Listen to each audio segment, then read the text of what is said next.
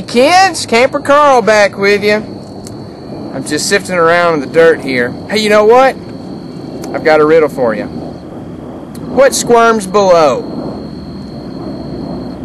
It's a worm!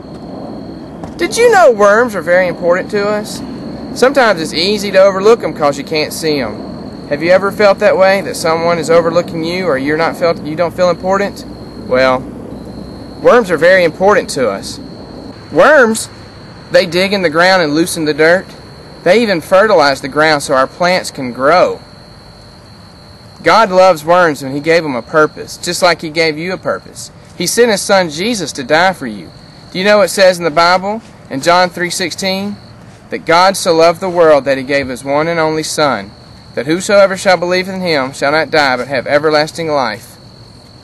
You know, no matter how small or unimportant we feel, we're important to God.